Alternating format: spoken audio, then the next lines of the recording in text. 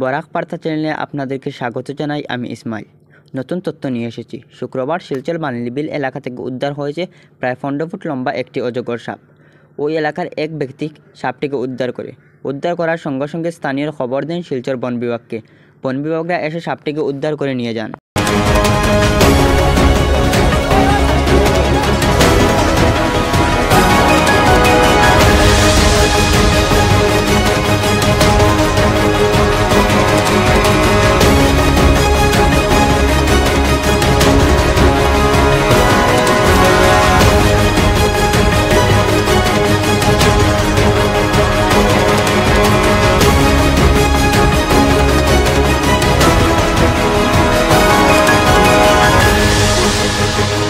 Thank you.